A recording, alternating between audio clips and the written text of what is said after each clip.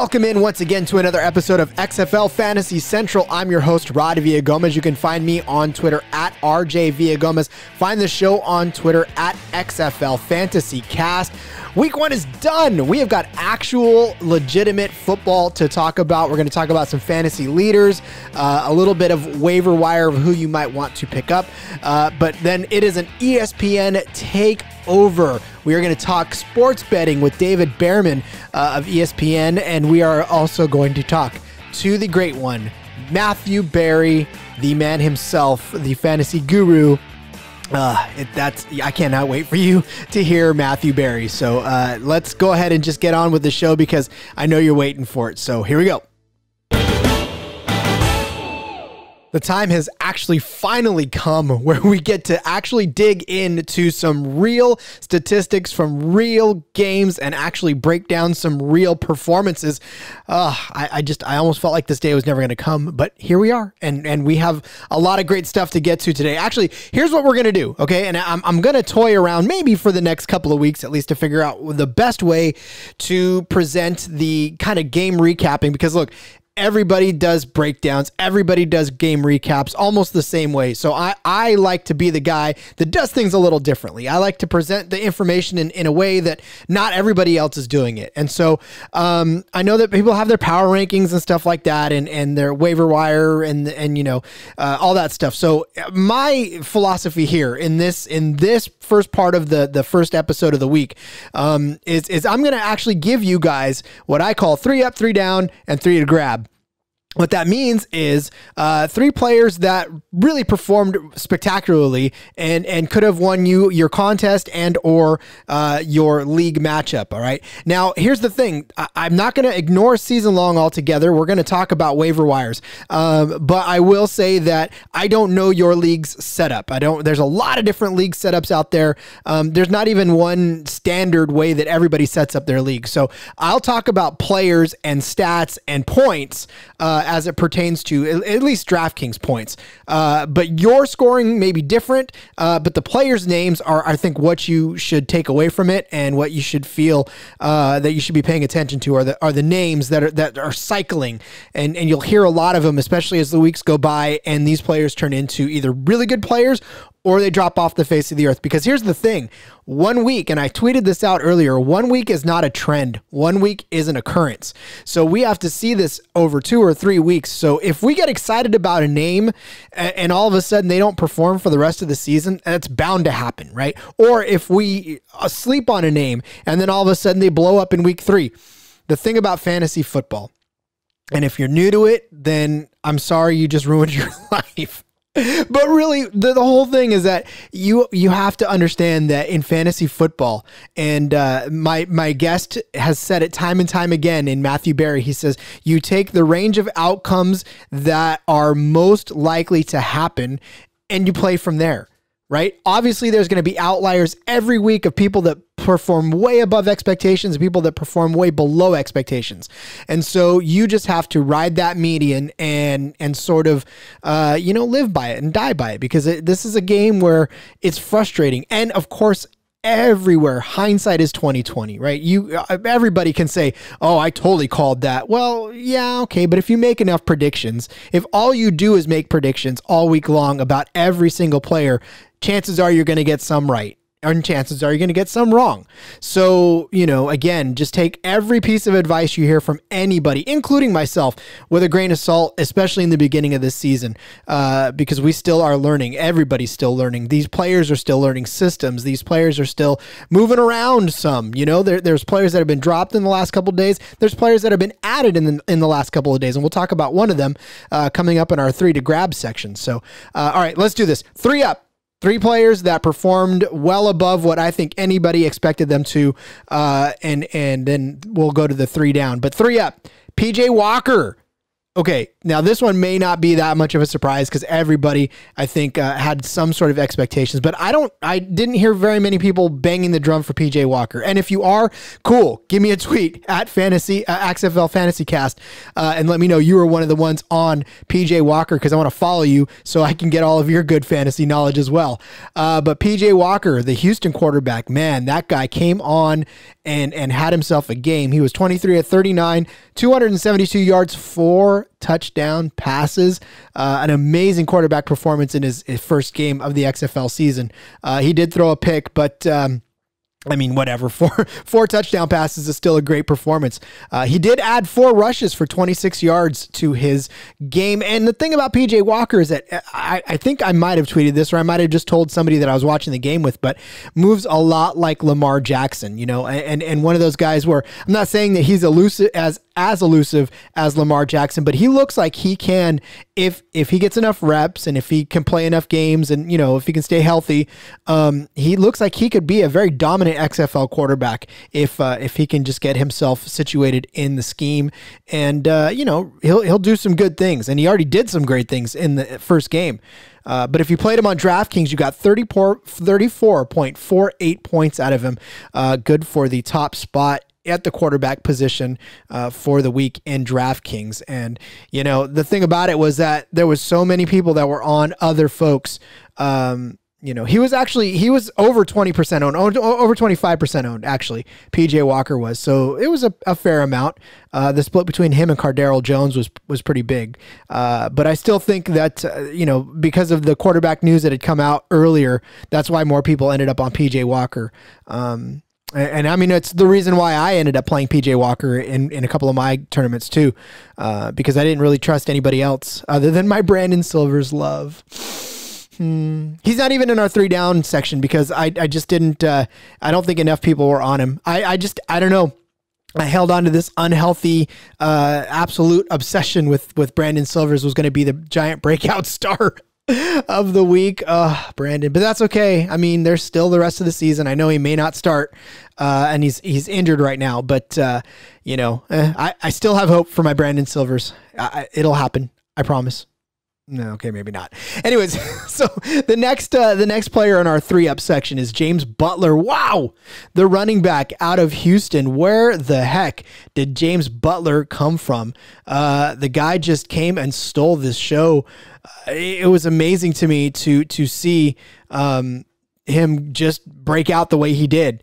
Uh, two touchdowns, one through the air, one on the ground, uh, and he just outshined uh, guys like Williams and Henderson, who were supposed to be the guys that were there, and and were the ones that are uh, were supposed to be the guys that uh, that were going to carry the rock for Houston.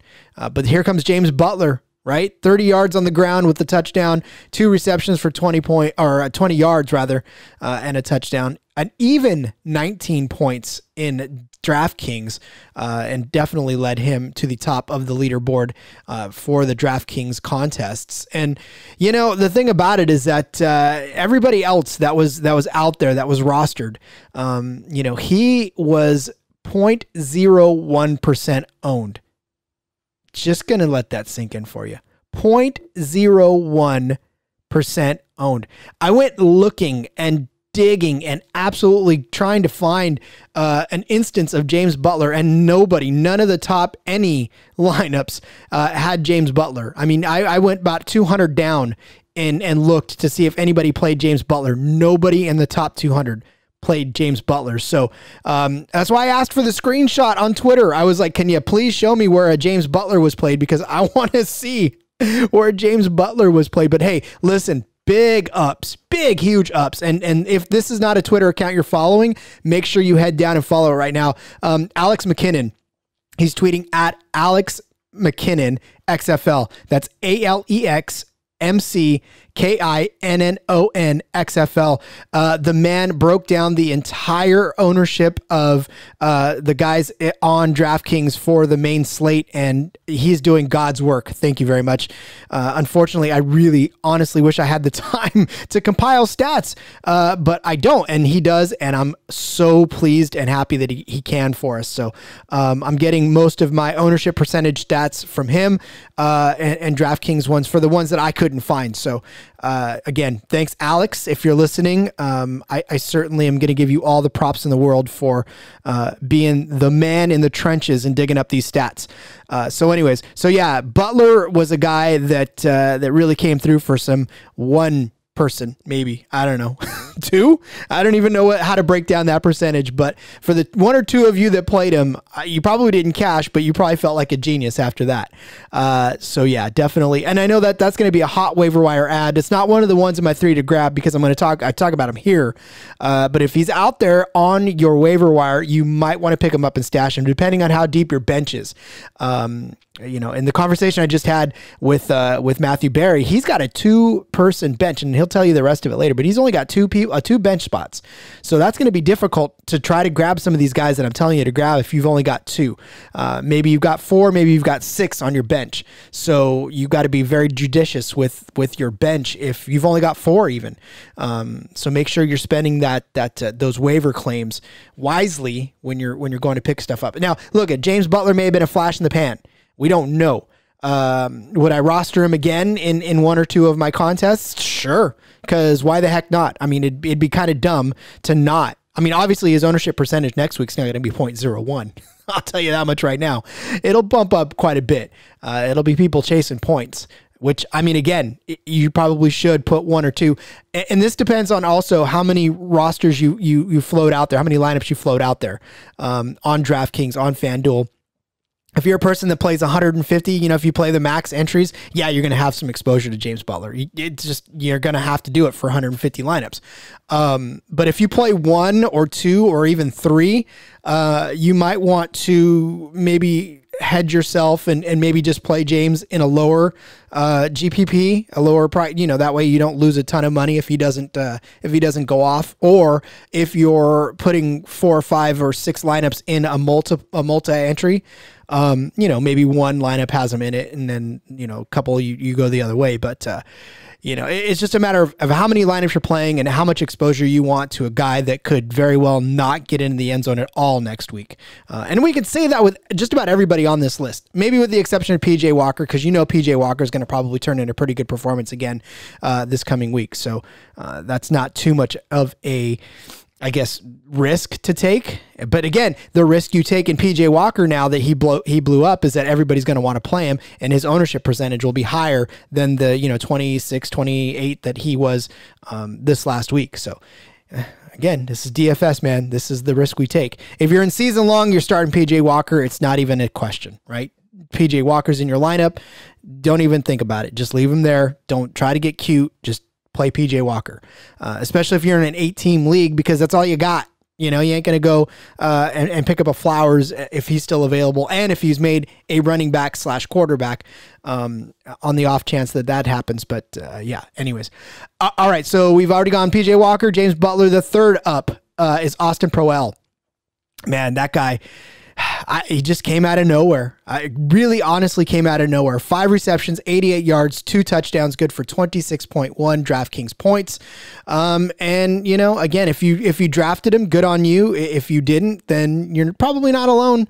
I don't think a lot of people saw a, a guy like Proehl jumping out to that big of a start in the season. Um, and he really he just he came on strong and he, he never let up for for Seattle uh, in, in a in a you know, game where they really needed somebody to come out and, and do that. Um, the next leading receiver for the Dragons was Dantes Bird. He only had two receptions for 32 yards. Um, you know, it, it, just there was nobody catching the ball but Proehl. Uh, he had the five receptions on 10 targets. So, you know, Silvers was looking his way early and often um, until he got hurt. But even BJ didn't come in and do anything. Uh, he did absolutely nothing. BJ Daniels did. So it was all Silvers to Pro. So you know that Proehl is Silver's favorite target while he's in there. Now with the injury report that Silvers is is on the injured list. Uh, what does that do? Uh, who knows now at this point? Because BJ Daniels is the backup. But we haven't seen enough out of him on the field yet to actually know who his receivers of choice is going to be. And it may not be Proehl. It may be Dantes Bird. Uh, we never know. So keep an eye on that situation. I, am not sure that anybody really wants to um, jump headlong into that uh, Seattle situation this week. Uh, you know, again, last week it was it was a good situation if you had Proehl, but uh, if you didn't, then uh, it wasn't a good situation. And again, we don't know. We don't know what's going on with that team. And once we find out more, I think we'll be uh, we'll be just fine. All right, so that's the three up. Let's go ahead and move to our three down. in fact, let, uh, hold on real quick. So Proehl was 5.36% owned. So again, not a lot of people were on him. And uh, and again, if you did have them, then most of the actually most of the winning lineups actually did have uh, some sort of Proehl or Spruce in there because uh, Spruce was right on his tail with 24.3 points on the day. But he wasn't one of our three ups because Proehl stole the show. Uh, all right, so uh, a bonus up actually before we even move on some more is the New York DST. Whew, boy defensive touchdowns, sacks, interceptions, fumble recoveries, the whole nine. Good for 24 points, man that was probably one of the best plays that I had of the week. Uh, was my my Guardians defense pick, uh, and that was that was a lot of fun to watch them go off. So there's your bonus up uh, for for the day. Uh, all right, our three down. These poor guys. It leads off with Sammy Coates, the receiver for Houston. Two receptions, 26 yards, good for 4.6 DraftKings points. Sammy, man, everybody was in on Sammy all season long. Everybody was talking about Sammy. In fact, 51.23% of the main lineups in DraftKings had Sammy Coates in them. So that goes to tell you that everybody with name recognition, I told you about it when we first talked about uh, playing these games and playing it. It's name recognition, right? Sammy Coates. Everybody thought Sammy Coates was going to come in and just dominate, and and you know he didn't. He came in, he had two catches. He had uh, uh, 26 yards on those two catches. So it wasn't an actual huge dominant performance. So this is why I cautioned you about name recognition and and and actually um, being very weary of the folks that are are huge names. Uh, which uh, the next one on our list is as well. The third uh, three down is Cameron Artis Payne, right? Dallas running back, just totally not used at all. To be honest with you, two two carries for six yards and he caught or he threw a pass for 10 yards. So that counted as a point as well. Where he actually did anything was in the receiving game where he had four receptions for 13 yards, but all of that only equaled 6.3 DraftKings points. Now, here's the thing about uh, uh, Cap, I guess, is everybody's. Uh, here's the thing about uh, Artis Payne, though, is that he uh, he was in the midst of of most of the running backs uh, because there was not a lot of dominant running back performances this week. Uh, short of Butler and Trey Williams, uh, you know, everybody else was sort of middle of the pack, uh, and and even even Lance Dunbar came in and did something, but everybody else was under double digits. You know, the De'Veon Smiths, the Kenneth Farrows, uh, the Hollies all these guys were all Jhurell Pressley even was only at 6.9 points. So this wasn't a a huge running back week. Uh, but even in a not so huge running back week, uh, Cameron Artis Payne just did not deliver at all. Uh, he didn't kill you completely, um, but he certainly didn't help you win like a James Butler did. And then last but not least, on the third down, uh, on the three down is is Christine Michael, which if you watch the games, if you played fantasy, if you played C, uh, uh, DFS, you absolutely know 100% what I am about to say, and that he did nothing. Nothing. Seven carries for no yards. He had one reception for negative one yards, good for a negative 0.1 performance. Uh, and and boy, it was a frustrating day uh, on the ground for Christine Michael and that uh, the Battle Hawks offense. Uh, so I mean, again, that was another one where everybody came in and they were all in on on uh, Christine Michael to the tune of what was he at? He was at twenty point four six percent owned in the main. So not a huge I mean uh, but that's a huge ownership share when you consider that, you know, most everybody else was was under mm, under 20. Uh, Jhurell Pressley was the highest uh, next owned next to Cameron Artis Payne at 29.7. So, uh, you know, uh, Christine Michael came in pretty highly owned, and everybody was was putting a lot of faith that he was going to get it done, uh, but he did not for the Battlehawks. So yeah, I mean Matt Jones or Matt Jones, yeah, was the one that came in and actually did anything on the ground. Twenty one rushes for eighty five yards. Uh, so I know he's owned, which is why he's not really on the pickup uh, list. Uh, he's pretty well owned. People were picking him up. So, but if you started him or if you put him in your DraftKings lineup, uh, you're you're actually pretty happy because uh, he got you some actual points where Christian Christian Jones did not. Um, and Matt Jones was not even that high owned. Uh, he was 1.48% owned. He got you 8.5 points. So a little bit better than Cameron Artis Payne, but not as good as a Trey Williams or a uh, James Butler. So, uh, all right, that's the three up. That's the three down. Here's three to grab. All right, here's the ones to keep on the waiver wire uh, list for you. If if your waiver wire is going to process tomorrow, or or you know earlier today. Uh, here here's some three to grab. Uh, keep SJ Green on your radar. All right, the uh, the Dragons just picked him up uh, off of the Canadian Football League uh, situation. And here's the thing about SJ Green. All right, he's a Grey Cup champ. He's a future Hall of Famer in the Canadian Football League. The dude's got over ten thousand yards, so many catches, so many touchdowns. Um, that he is just a phenomenal talent, right? He's he's over 30, so he's on the older side of it.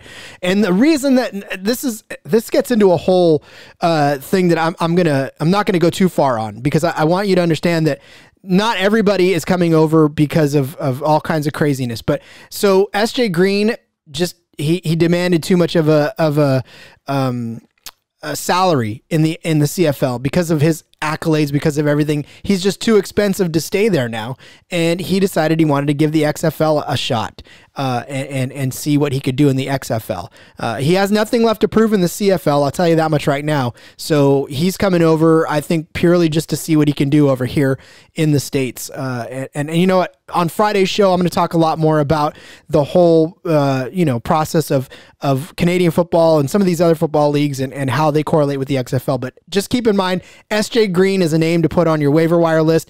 And uh, in the, in a couple of weeks, he's he's a guy that you're going to probably want to roster uh, on your DFS rosters quite a bit. So, uh, all right, Cam Phillips is another one, the Houston wide receiver, uh, where all eyes were elsewhere. Cam Phillips uh, grabbed some some good uh, attention. He had four receptions for 67 yards and a touchdown, good for 16.7 points receiving. So that's that's a good good performance for Cam Phillips. And then last but not least, keep on your radar Dan Williams, the Tampa Bay wide receiver. He had six receptions for 123 yards. He was the blown bright spot in that just horrendous Tampa Bay offensive performance. Uh, and so you definitely want to keep your eyes on him and see if he can uh, follow up on that performance and uh, and and and do great things. So, all right, those are your three to grab. We we talked about three up, three down, three to grab let's get on with the rest of the show because I got to tell you, the rest of it is amazing. And uh, you're going to hear Matthew Berry in, in a few short minutes. So, uh, all right, let's get on with the rest of the show. I'm joined today by David Bearman. He is the deputy editor of sports betting at ESPN.com, a man that knows where to put his money, and he has put his money on the XFL, and we are all glad for it. David, thanks for being on the show. Hey, thanks for having me. I appreciate it. Exciting weekend with the XFL launching, and uh, it, was good to see. It looked like it was a successful first weekend, and I know uh, our ABC ratings were good on Saturday, and uh, it seemed like a lot of fun. It was a lot of fun. Not okay. Look, I know it was a lot of fun for me because I barely had a little bit of money on this. But you are a better. You are a man that tells people where to put their money. How was it for you to experience it? Uh, football in February, first of all, and and a brand new league. What was that like for you? Well, having it in February is fantastic. It it fills one of those voids where you know the NFL and the college football season are over and the bowls are done and Super Bowl is over and they're like, all right, yeah, you can dabble with you know NBA and NHL and all that, but at the end of the day, it's where the where you make your money is on you know playing football games, and it's interesting and scary at the same time because you would call this like a soft new market that there's not many people out there who really, really know. And I'm not going to even pretend to tell you that I'm an expert when it comes to these teams. It's rosters, it's coaches, it's you make your handicapping based on what you haven't seen yet, which can be a scary thing because you go out there and, and give the picks and give your analysis, and you could be 100% wrong or 100% right. Um, so it's a little bit scary, but at the same time, it's one of those leagues where you have to dig for the information, you have to study the rosters, and, and I always joke about the NFL. If you if you're betting the NFL on Sunday, you already lost because everybody else bet into the market. The lines already moved around from where the where the pros and the public has done. And by the time you get to Sunday, if you're betting it, you're, you're done. You might as well not do it because in the NFL you got to get there and beat the market. Uh, XFL you, you really don't know what to expect. Uh, it was heavy, heavy action for for sharps, not so much public, which I think will change over time. But uh, it was fun to at least have something to watch and give out. And, and I was I was I was as honest as can be when I when I gave my picks out on um, on Twitter and at DB1 Sports. I said, listen, take this with a grain of salt. We haven't seen one play of action yet. We don't haven't seen any of the new rules, the kickoff rules, the two minute rules. So I'm going to give you what I think based on what I've seen from the rosters and the the talent pool. And I did pretty well week one, which was great. Um, you just you just never know when it, when a new league starts up.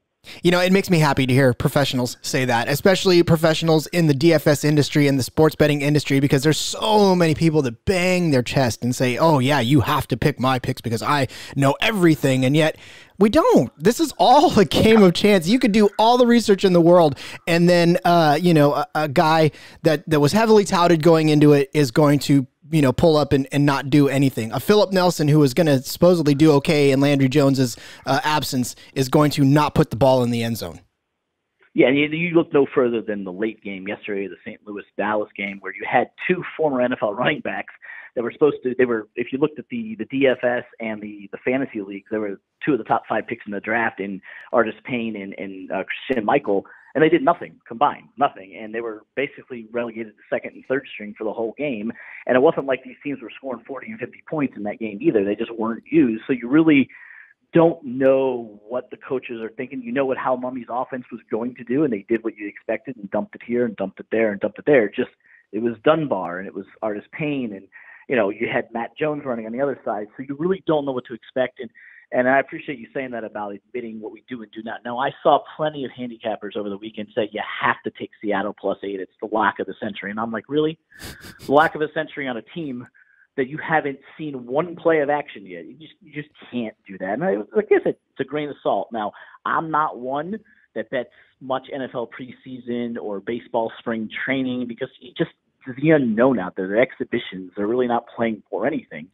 In this case, it's a league. It's a professional football league. These games do matter. They do count. So I have no problem getting in there and betting it. You just have to realize that you you only know what you know. And and to be honest, I did a fantasy draft on Friday night for three hours, and when I was done with the three hour obnoxiously long draft in the Google Doc because there's no other way to do it, um, I had the rosters pretty darn set. And if you look at my fantasy team and the bets I gave out, there's a lot of correlation there. I took the New York defense and thought the New York defense was going to be good and bet on New York. I took a couple of Houston players and thought Houston was going to be good and gave it out, and Houston was good. So, you know, I, I devalued Tampa Bay, and Tampa Bay didn't play well. So a lot of the bets that I handicapped are based on the rosters that I did for the fantasy, and you could I could have been wrong on both ends. I had a good first weekend, but you never know going forward. Oh, I mean, you have to take no no longer look than at my actual season long fantasy roster to say, "Wow, this guy." you know, if there's yeah. a miss, there's a there's every. Well, I mean, I maybe got one guy right, but everybody else was just. I mean, you know, I, I, I did a lot of research and we're so biased sometimes in our research that when we when we start going down a rabbit hole, we think, "Oh yeah, this is gold," and then we we convince ourselves of that. And then when we go into it armed with the knowledge that we know, uh, sometimes we we're blinded ourselves to other stuff. So yeah, I know exactly what you mean. Yeah, and, and I always compared fantasy and gambling in two different fronts. Like, you know, people would completely disagree with me that one is more of a crapshoot than the other. And like, I think with betting, you can study game plans and coaches and expected point values and get a pretty good feel of how a game's going to do. But fantasy wise, you're not in the locker room when the coach decides the two deeps and who he's going to use when. And you just, I call it the Bill Belichick. You have no idea what running back that guy's going to use on any freaking day. Is he going to pass the ball 60 times and, and use his running back for six carries, or is he going to, you know, run run the ball right down the middle with LeGarrette Blount and never throw the ball? You just don't really know what the game plans are and that affects what you're doing with betting and fantasy. And you know, nobody expected a, a team with Bob Stoops and Hal Mumme to be held to three field goals, and that's what happened. So you make an interesting uh, uh, comparison between fantasy and betting, and and I'll be honest with you, completely honest with you. But sports betting has always scared me because I just I feel like, like you just said, like it's more of a crapshoot, but I know that it's not. So when you talk about sports betting, let's talk about some of the factors of it and what you can bet and what's out there right now. I know that I've seen that some lines on the championship have actually changed since uh, week one, and which they should. I'm so. But let, us talk about the world of sports betting for those who aren't really necessarily um, involved in it that heavy. What is it? What does it mean to be a sports bettor? Sure. Sports betting to me, I mean, there's a certain talent to it. You also have a certain amount of obviously, you know, luck involved with how the games go. But when in terms of handicapping games, you could look at the sides of the of the game, you know, the plus minuses of who's favored with the point spread. You could take the money line straight up, a team to win outright, which would have paid dividends yesterday with St. Louis and uh, New York, who are both underdogs and getting two and three to one on the money line. Or you can look at the totals, you know, the over unders, how many points are going to be scored. And I thought that was the biggest misnomer of the weekend was you really didn't know how the new rules were going to affect the totals. So I gave out the picks, but I didn't bet the totals. I bet the sides in all four games because I had a pretty good feel of who was going to be better and missed last night's game but hit the first three. Um, but you, you can also do player props, and it's not out yet for XFL, but for the NFL and college football, a lot of player props, which is very similar to fantasy, where you're actually projecting what a player is going to do. Instead, you have direct money on that player as opposed to a whole fantasy team or DFS team. And I, I for one, love them all, but I prefer the the art of the sports betting because you can sit here and handicap games by themselves, a whole roster versus a roster, as opposed to putting together your own mini roster that has no correlation to each other. Like who you put at quarterback in in your fantasy team versus your running back, there, there's no correlation between the two if they're on different teams. Whereas there is when you're actually placing a wager on a game. It's one game, everything matters in that single game. So that's where I see the biggest difference. Whereas your fantasy team could be good or bad, but it's depending on eight different factors if you have eight different players. Yeah, that's great. And so you got a little more control over what you are are putting your money on when it comes to betting. It sounds like, and that you can pick and choose uh, exactly where your money goes. Again, versus like a DraftKings lineup where you're right, you're you're spending I don't know maybe fifteen dollars on a on an entry fee, and you have to make sure that all eight of those players perform. Whereas you put fifteen dollars on an over under on let's say Christine Michael's uh, yardage total, and if you bet the under, then you already won whatever the the odds were, right? Right yeah, you're basically more concentrated on direct win or loss as opposed to, you know, daily fantasy. You have eight different players or seven different players depending on what pool you're in, and you're going up against all the other players who are in the, you know, all the other teams that are in the thing, and you have to worry about that which you can't control. Whereas in betting, you don't control the action that's on the field, but you control what you're betting on, and it's more of a singular data point of I'm betting this total, this over under uh, this side, or and one thing I didn't bring up before was the future, like the future wagers on, you know, when you want to jump in on. Like if you had jumped in on Houston, which I did before week one, I got them at six to one. They're now the favorite at three and a half to one to win the league title. Again, who knows? There's still nine more weeks to go, but like St. Louis was eight to one, and now they're four to one. So depending on, it's a strategy of when to jump in on it. And same thing with the betting line. The, you know, if you had gotten in on the over unders at 40 and a half, which is when they posted, you, you got ahead of the game when they went all the way up to 51 and 52, and some of them hit the middle. Whereas if you waited till the very end, if you wanted to bet an under, they were all in the 50s. You bet the under, and the score was 12-9. So there's a definite art and strategy to when you get in and out of a bet. And then there's the whole in-game wagering, which would take a whole nother show to discuss. But that's also stuff that it's playing like playing a day trading with the stock market when you get in and out of a game. And I, I just I have a better feel for controlling that as I do a fantasy lineup, which you're competing against everybody else in your league or everybody else in your pool. And by the way, there are eight different units there that may all do different. And all it takes is one player to do crappy, and you're not going to win. Yeah, like a Christine Michael. Correct. Negative on my point on my bench. It yeah on my lineup. It was it was horrible. If he would have done anything, and I mean anything, I would have at least cashed that week. So, huh, I'm telling you. So let me let me ask you because I'm curious. How does one get into uh, a, a, place like ESPN uh, and dealing with sports betting? Sure. Well, my original background was in TV and radio, doing play-by-play and, and doing radio shows and, and stuff like yourself. Uh, I was working in minor league baseball for a while, doing uh, play-by-play and media relations for minor league baseball, and it led to eventually a researcher job, stats and researcher job opening here at ESPN back in 2005. So it's been about 15 years, and I started in our stats and info department, basically producing stats for games and notes for games for games and broad and uh, shows. So every live show you see on ESPN, whether it be Sports Center, NFL Live, Baseball Tonight, or College Game Day, every show has a researcher. And for those who watch College Game Day and see Chris the Bear Fallica, who has now become a talent on the show, pushing betting and, and, and sports betting and gambling, he's a researcher on that show as well. So that's the type of stuff that we were doing when I started. I worked my way up in, into management and, and managed different aspects of the department, but also created a group at ESPN that concentrated on sports betting content. And I'll stress the content part it's not like we had our own, you know, we weren't our own sports book. We were pushing the content for the different shows, which four, five, six years ago, it wasn't really popular and people really weren't paying attention because it was illegal in those in all states but Nevada. The PASPA law being overturned by the Supreme Court a year and a half ago is what kind of changed the tide for all of us, where it was okay. Now sports betting is going to become legal in state after state after state. You know, up to 13 states now, and projection is to have 20 to 22 states by the end of 2020. That we're going to need to have a more of a bigger group of people at ESPN that handle sports betting, and I oversee uh, Chalk, which is the digital website, ESPN.com backslash Chalk, and I oversee the editorial content on that, and and work with the TV side, which I was on for 14 years before moving over to digital and helping launch Daily Wager, which is on six days a week on ESPN2, and having a, an official show and dedicated website to sports betting content. We're not a tout service, we're not a book, but we create content around sports betting, which just like a couple of years ago, daily fantasy was popular, and years before that, fantasy became popular, and analytics became popular. Those always waves of things that become popular.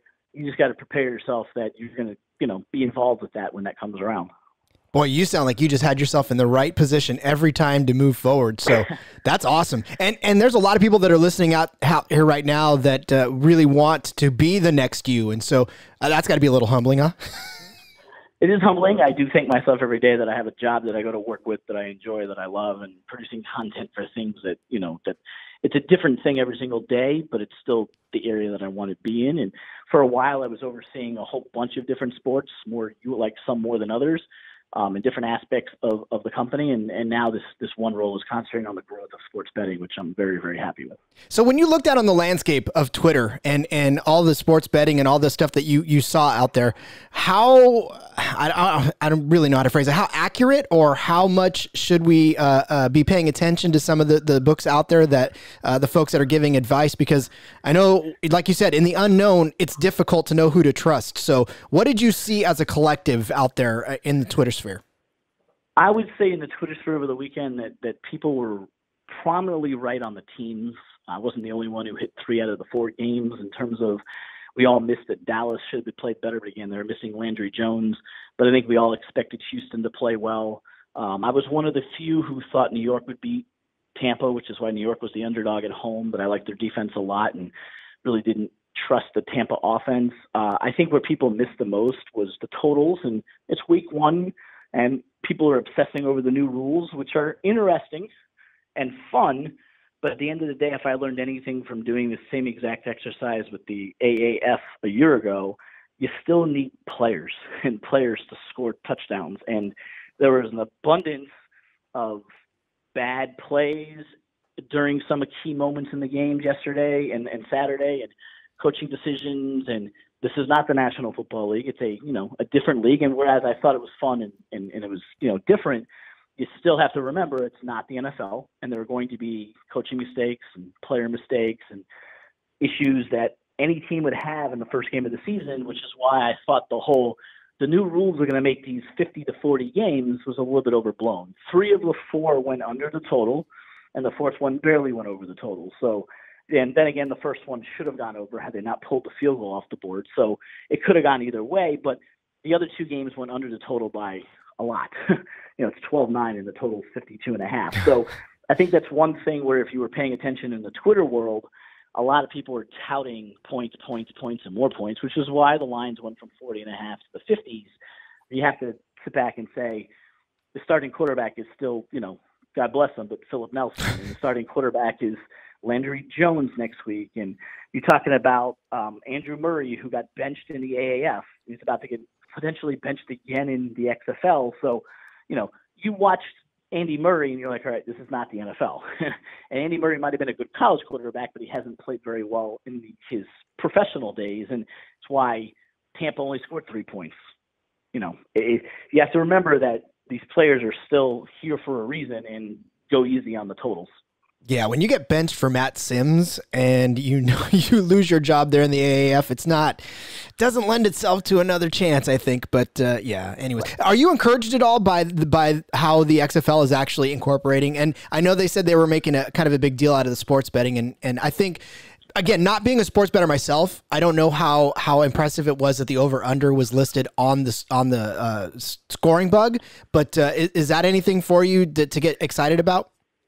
Uh, 100% excited, and I would say that was the, the biggest takeaway for me, even though I knew it was coming, because I actually had many, many conversations with the XFL and our production teams here about how to how this would be displayed. It, it, it's the first of its kind, which is what makes it exciting here. Is you know we show NFL games, you don't see that on Monday Night Football, you don't see that on CBS or Fox or NBC. It's not allowed, and, and whereas the NBA is a little bit more. Um, flexible when it comes to gambling talk. It's still not something you see in the broadcast. You don't see it on TV. You might see it in our shows, but the XFL has embraced gambling talk, gambling graphics, and it wasn't just having the line and the over under on the broadcast. The minute they took the field goal off the board um, with the Seattle team, all of a sudden, like when he kicks the field goal, they're covering and it's the over. Once they take it off, it was still up in the air. And when they fumbled the five yard line, that was something that the, the game was, I believe, uh, was it a 12 point game at the time? Them fumbling may have decided the game right then and there, but the total and the point spread were still in flux for the next six or eight minutes, which is something where, as a fan of the game, and a, and a friend of mine is a friend, is a fan of football, but is not a sports bettor at all. He stuck around because he was intrigued by the fact that the total and the side were still part of the game with two minutes to go, even though the game was over. Uh, same thing with the total in the, in the Houston game, whereas it was a you know an 18 point game, but it hadn't been decided yet. So there are ways where the broadcast can keep fans interested in the same way that you're a fantasy guy, right? So there's going to be garbage points scored by your quarterback who's down two touchdowns, and that receiver that you had that caught the touchdown late in the game when his team was down 18 points means nothing to the game, but it helps your fantasy team that is the same type of thing we're trying to get across with gambling is the game's really never over until it's over.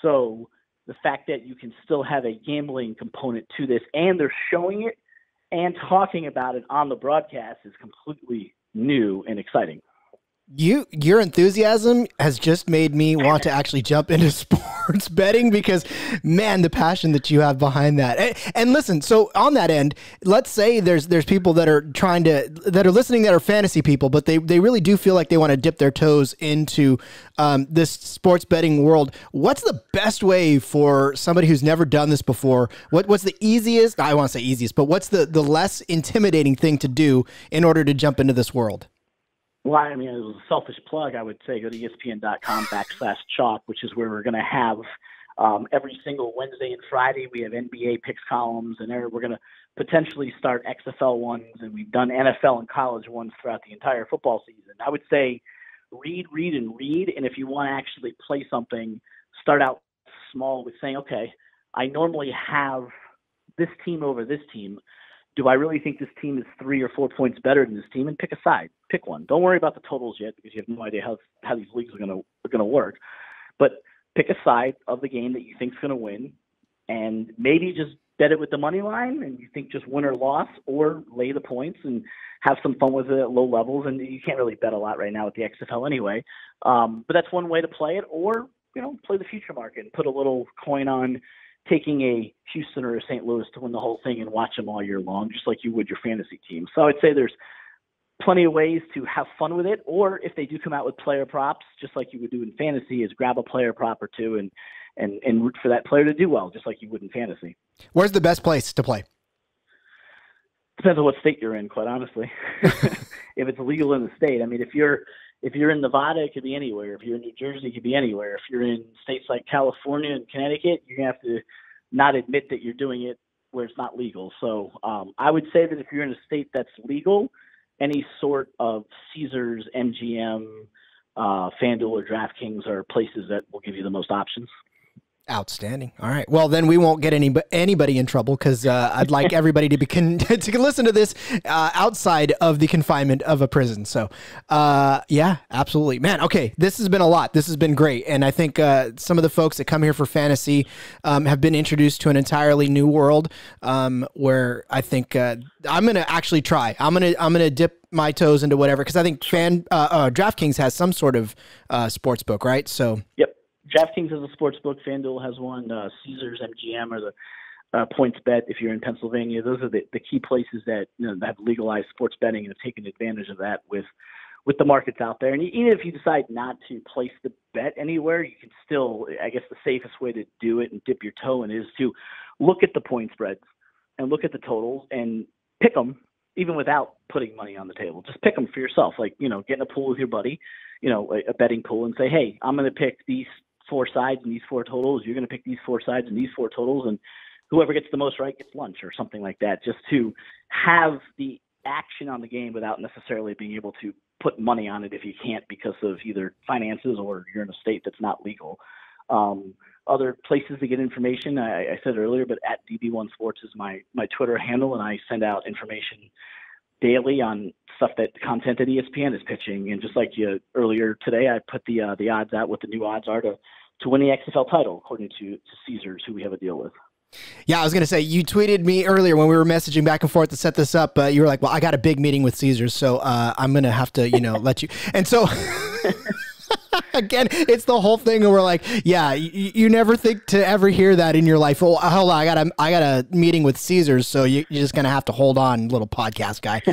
Uh, but no. I'm just I'm just so thrilled that you joined the show. I really am because again, the the amount of community that we can build around this XFL can only help everybody out and open new avenues because again, your your focus hasn't necessarily been XFL, but you know, maybe the next person in line behind you is going to pick up this XFL torch and run with it and and it just sure. it's nothing but great stuff. No, and I appreciate that. It's been a lot of fun, and I think the first week of the XFL was good. And you never know where it's going to go from there. And obviously, you you hope that it, sticks around longer than the alliance did. And I think the way it's set up and the the hours and time that it's spent in marketing and ticketing and, and promoting it have uh, have proved to be very good week one at least. Yeah, I mean it's definitely been like you said packaged a lot better than the AAF was and it, it I know a lot of people were saying that the AAF took its time and it's it got it right and I think this weekend actually proves that yes, the AAF rushed it, but the XFL sat back, had some patience and uh, and and put out a good product. So, um, go bet on it, right? Absolutely. Go have fun. Put some stuff down. It, even if it's a couple of jelly beans here and there even if you're just betting a friend dinner, go ahead, go ahead and, and, and pick the four sides next week, and whoever gets the most wins. I love it. I love it. And then post your results to uh, to me and to David on Twitter because we want to see who gets that steak dinner. David, I appreciate you spending time with us. Uh, I know that you have to rush back to go meet with MGM and Caesars and you know all the all the fun stuff. But uh, thanks for taking some time out and for talking to us and, and introducing us to sports betting. Absolutely. Uh, anytime. Just let me know. You you, uh, you know how to reach me, and I'll be happy to come on. Absolutely. All right. David Bierman, everybody, you can Beer, Bierman? You I, I have beer on the mind because it's a day off. David Bierman, everybody, you can follow him on Twitter at DB1 Sports. Thanks again, David. Thanks. Appreciate it. Well, normally my next guest would not need entry any introduction whatsoever because you'd be able to see him, but that's not happening today. So I give you, ladies and gentlemen, the definitive voice of fantasy football and the talented Mr. Roto himself, Matthew Berry. Matthew, I appreciate you spending some time with me today. Rod, it's my pleasure. Thanks so, for having me. Oh, absolutely, absolutely. All right. So look, I don't know if you've noticed, but you have energized an entire fantasy football community by taking part in this XFL adventure. So, what made you want to take that leap in the first place? Well, first off, it's football, right? It, it's football. It's fantasy football. We have no NFL, so there's that. The other thing is, is that there's a group of friends of mine that we did uh we did an AAF fantasy football league last year, and uh, we had a lot of fun with that. And so it's you know, it's, and if you follow fantasy Twitter at all, it's a lot of names you're familiar with. It's uh, it's Scott Fish, it's Mike Clay, Jeff Mans, JJ Zachariason, Daniel Dopp, my co-host on the fantasy show on ESPN Plus. Uh, let's see, uh, Sal Leto, um, uh, there's probably somebody else I'm forgetting. Oh, uh, Ryan McDowell. So it's a little 18 team, so 18 team league, and we had a lot of fun. So when the XFL was announced, we were like, well, we gotta we gotta keep the league going. So uh, so all those things, and I think it's just been listen. I think they did the right thing, the XFL, in terms of waiting to launch. Feels like they had a real plan. Feels like you know, look just from the first week, like it's real football. Is it as good as the NFL? It's not, but it's closer to the NFL than it is away from the NFL, and I think that's a big credit to everyone at the XFL. It was fun to watch. Well, that's my next question was going to be. I mean, you you took in the whole first week. What were your takeaways from the actual play on the field and the presentation, and what did it feel like that was different than past spring leagues? You know, I mean, I think they a lot of the changes they made to the rules, uh, and I apologize to your listeners. I'm under I'm battling through a cold, so that's why I might sound a little uh, nasal. But I think that uh, you know, I mean, I think listen, the pace of play is obvious, right? That that was one. I thought the kickoff rule was interesting. The extra point rule, you know, whether you can go for one, two, or three, and you can't kick an extra point. I think that's fun. So I thought the majority of their rule changes worked in their favor. I thought they were fun. Um, in terms of uh, in terms of the play, uh, you know, I didn't get to watch all of every game. It's clear that uh, you know Houston's going to be a lot of fun. June Jones and that uh, you know run and shoot that's gonna that's gonna be a really fun team. Uh, some of the Guardians, I think uh, I think the Vipers have their work cut out for them. And for that last game, I was really surprised at uh, you know that the Renegades under Bob Stoops weren't able to uh, score more points. That was been that's probably the biggest surprise for me week one.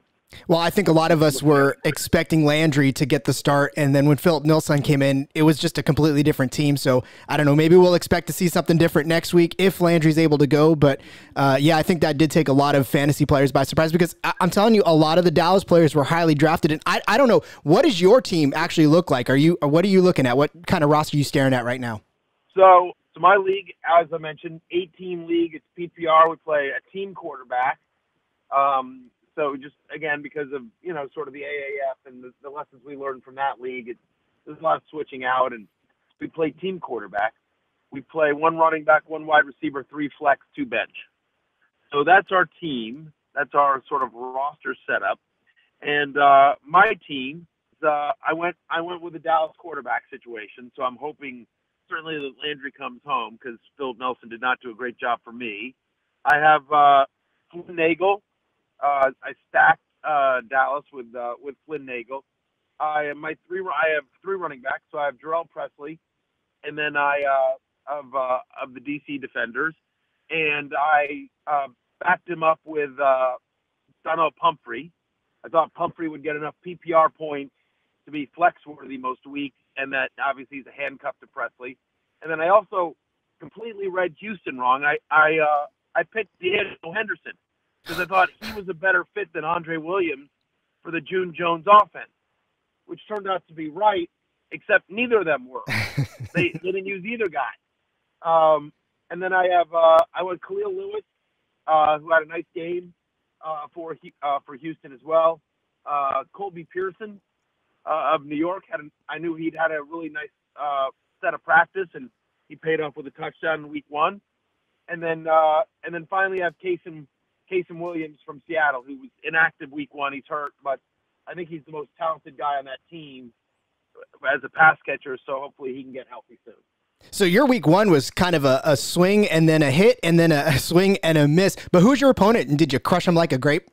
My my opponent was JJ Zachariason, and I think I barely beat him. We're still waiting for the scores uh, to come in, but uh, he had the Tampa. He had Aaron Murray, and uh, so he, you know, we had the two worst quarterback performances in the league, but luckily, you know, Lewis had a nice game, Nagel had a nice game, and uh, Colby Pearson had a nice game for me. He had Cam Phillips, who uh, I noticed on Twitter someone referencing the fact that Cam Phillips was only two, one of two players to play 100% of the snaps in week one. So I think Cam Phillips is uh, Daniel Williams is the other one. Um, so uh, so yeah, but uh, JJ had a couple of disappointments. He had Christine Michael, which you know. Yeah, I had him too.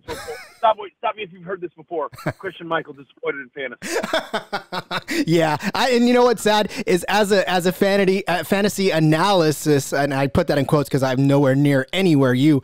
Uh, you know, I touted Christine Michael uh, pretty much most of the the preseason. Then you know, you go out on a limb, you're like, man, this guy's gonna kill. He's got this experience, got that experience, and then he goes out and he just lays a complete and total egg, and you're like, well, that's that's my prediction. Yeah, it's you know, what are you gonna do? There was so much there was so much news that was unknown about the league. Um, uh, you know, there was just uh, so, you know, that's that's part of it, right? It's just it's it's always a challenge because like I couldn't even find out the inactives for the for the Renegades Battlehawks game. Uh, you know, I, I was trying to figure because I had DFS lineups and I had Nelson in a couple lineups, and I was trying to figure out, oh, do I need to swap him out for Landry Jones? If and so just you know there was just a real lack of information and coverage of the league um, compared to other leagues. So really a challenge. So then my question is because of that lack of information and that that scarcity of actual stats and and and uh, just basic stuff that you need to know for fantasy. Is that why you think that the major players in fantasy daily, the daily side of it, I mean, I'm sorry, the, the season long side of it, rather, is that why they didn't kind of dip their toes into this water yet? Are they still waiting to see what's going on? You know, ESPN, Yahoo, those types of platforms that, that already have these season long uh, setups. Is this why they're staying away kind of for this first year? You know, it's a great question, Rod, and I don't have an answer for you. I certainly want to, I wouldn't want to officially speak for ESPN. So no, absolutely not. Yeah. I don't know so I I don't know what the decision process was. You know, I can tell you that in general, but I suspect it's the same at ESPN as it is at Yahoo or CBS or NFL or wherever. That you have a limited amount of resources, any company, and so do you devote those resources to building an XFL product, even though there's already the skeleton of it built? We still got to input the names. You still got to, you know, adjust for the scoring. There's still work to be done. Are you doing that? Is it more important to your bottom line to do that or to improve your football game or to make sure baseball is ready for launch? Because that's what they're doing right now. You know, they're working on baseball. They're making sure baseball's ready to launch. And, you know, and, uh, and for us, March Madness, like our tournament challenge game is, you know, our biggest fantasy game. More people play, you know, a bracket game around the NCAA tournament than any other game on our site, including fantasy football. So I think it's just an allocation of resources and how popular is the league going to be? Is it going to stick around, et cetera, et cetera. So I have no inside knowledge of what the decision making process was, but if I had to guess, it's probably some combination thereof.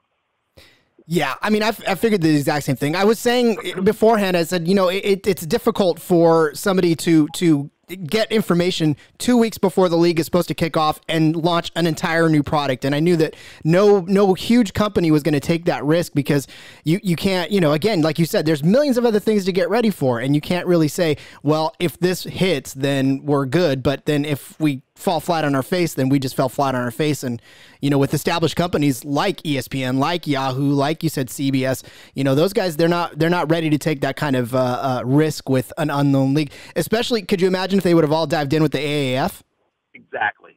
But I will say, my belief is that next year there will be at least, you know, I mean, there's a there's a guy that did it sort of out of the labor love alt fantasy sports, uh, but my belief is that one of the major providers assuming the XFL continues the success it had opening weekend, and uh, you know is coming back next year, and there's momentum. I believe somebody will offer a uh, you know a commissioner product for it, and certainly DraftKings and FanDuel have you know dived right in. Oh, that's a good, and so that's a good point too, because uh, DraftKings and FanDuel, the daily side of it, uh, you, I know you love playing daily fantasy. Did you have fun playing this first week, even though there was so many unknowns? I did. I won money. So, yeah, I didn't win a ton of money, but I uh, I won more than I played, so uh, so that was good. Uh, I went heavy on uh, Houston, so I, I had a couple of you know PJ Walker, uh, Kahlil Lewis stacks, and worked out well. Yeah, I went Philip Nelson because I don't know why I'm a glutton for punishment, and I thought, well, great, let's let's see this Dallas uh, offense go, and and Philip Nelson did not go. So uh, that was my week one uh, shellacking. But that's all right. Like I said, every every week in fantasy, in DFS especially, is a new week. So uh, we'll roll out a new roster and see if maybe I can get into the green this time. Sounds good, Rod. Uh, all right, Matthew. Like I said, I know you are battling through uh, this this illness, and you've got a couple of meetings to get to. Uh, but I, I, think our listeners will take seventy five percent you uh, over zero percent of you. So I, am just so thrilled that you came on the show and gave me the time of day, and gave this entire community the time of day because I don't think you understand the stamp of approval that Matthew Berry TMR puts on something when he jumps in. And I think the whole Twitter community for the XFL is so grateful for you uh, to even acknowledge us and to to play along with us. And I think uh, I think you're doing a good thing for us, whether you know it or not. Well, I appreciate that. I don't think any of that is necessary, but it's very sweet of you to say. And I've really enjoyed XFL Twitter, as it were. I think you know I've gotten a lot of my knowledge from following all of you guys, and so I would say it right back is thank you guys for you know really grinding and doing the hard work because it's uh, it's helped me enjoy uh, it's helped me enjoy my XFL fantasy. All right. Well, we are going to let him go, ladies and gentlemen. It is uh, the Mr. Roto himself, uh, Matthew Berry, the definitive voice, the 06010. I, I can go on and on, but I won't because you got to go. So, Matthew, once again, thanks for the time. thanks, Rod.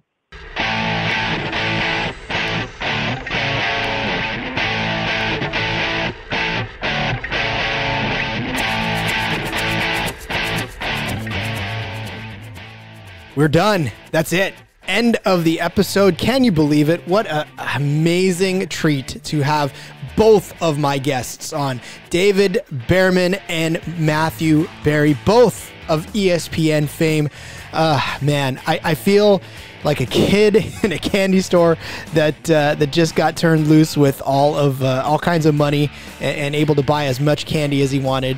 Uh, I got to tell you, this was an absolute blast to talk to both of them, and, and, and I cannot believe that either one of them said yes to this show. I, I just, you guys just don't even know how much you all are appreciated for allowing me to bring you the type of content that I'm bringing you and the guests that I'm bringing you because as much as you're enjoying it, I am fully enjoying it and I just cannot say enough uh, to say thank you to to you and to anybody that listens to the show that interacts with this show that makes this show what it is because honestly, I do it without you listening, uh, and I've done several shows without anybody listening. But the fact that you do listen and the fact that you do enjoy it just makes this uh, so much more of a pleasurable experience. Because podcasters sometimes don't feel the love, and uh, I, am not. I'm lucky enough to not be in that position. I feel the love. I feel the appreciation that you guys have and uh, and I just love to do this. So uh, I hope you enjoyed Matthew. I hope you enjoyed David. Uh, please follow them if you're not already, which I know you are. But uh, you know, you Matthew Berry at Matthew Berry TMR, and then uh, you got to follow David at DB1 Sports. Uh, you know, just so much good stuff. So, all right, listen, that's it for this show. Uh, next episode is coming out on the normal episode Friday, but of course, this is two a week, so this is normal now too. Uh, but uh, yeah, keep this on lock, subscribe, rate, do all that fun stuff. Keep this show moving up the ranks because uh, it's a lot of fun to watch that arrow move up. And so, yeah, week two is about to come up and we'll have the previews. We'll have uh, your fantasy four pack and we'll have a couple of interviews with some folks in the know right? I promise to continue to, to, to have fun with you and as long as you continue to have fun with me right? Let's do this all together. Great week one. What do you say we do this again in week two shall we? And in the meantime don't be like me on the last week. Let's actually make some money